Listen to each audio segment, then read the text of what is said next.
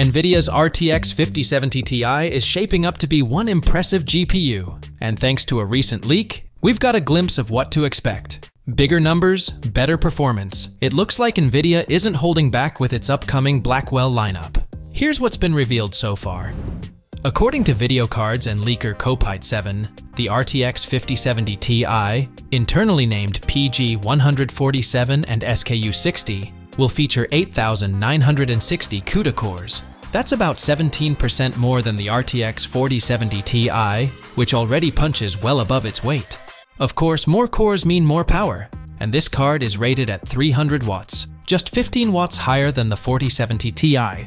Details on memory and clock speeds are still under wraps, but we'll likely hear more soon enough. With the launch so close, it makes sense not to throw speculation into the mix without solid evidence. What's interesting is how the 5070 Ti is positioned. It's set to slot in between the rumored RTX 5080 with 10,752 CUDA cores and the slightly less powerful RTX 5070. Interestingly, NVIDIA has a history of tweaking specs right before launch.